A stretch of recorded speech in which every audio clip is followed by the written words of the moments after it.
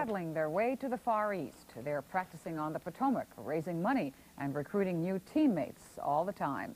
Tonight, Channel 9's Andrea McCarren introduces us to Jack's Dragon Ladies. All right, let's make it look good. Rio, paddle. Two evenings a week, an economist, a secretary, an engineer, and a group of other professional women who work in the nation's capital take to the Potomac River to paddle.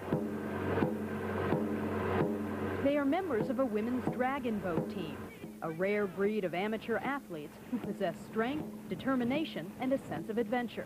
It's something that's unusual. It's something that's exciting. Um, there's, I like being part of a team because there's lots of camaraderie.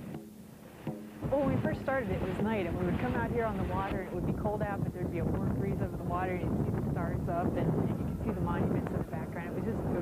just peaceful. I mean, it was a lot of hard work. You'd be sweating, you'd be dying, but then it would just be beautiful around you. With his eight-month-old daughter strapped to his back, Dave Armstrong coaches the team. Many of the women who have joined had never even held a paddle before, and now they endure wet and strenuous workouts. Most of these people couldn't paddle more than 30 seconds without gasping for breath eight months ago, and, and now they can go for three and four minutes at a time.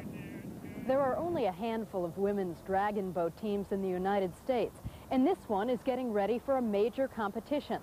In eight weeks, these women will compete in Hong Kong.